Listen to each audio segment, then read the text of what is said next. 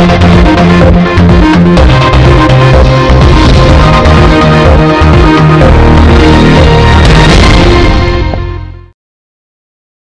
पलिया शहर में गणेश चतुर्थी के अवसर पर विभिन्न स्थानों पर भगवान गणेश की प्रतिमाएँ स्थापित की गई थी। रोज़ाना विधि विधान से भगवान गणेश के पूजन अर्चन का कार्य भक्तों द्वारा किया जा रहा था। स्थापना के बाद भक्तों ने पाँचवे, सातवें व ग्यारहवें दिन भगवान गणेश की प्रतिमाओं के विसर्जन का कार्य किया। सोमवार व मंगलवार को भी विसर्जन का सिलसिला जारी रहा। पलिया के कांग्रेसी नेता बलराम गुप्ता के घर स्थापित गणेश प्रतिमा विसर्जन से पहले शोभा यात्रा निकाली गई, जिसके बाद शारदा नदी के तटबंध पर जयकारों के साथ भगवान गणेश की प्रतिमा का विसर्जन कर दिया गया कांग्रेसी नेता बलराम गुप्ता ने बताया कि पिछले नौ सालों से चतुर्थी के अवसर पर उनके घर पर भगवान गणेश की स्थापना की जाती है.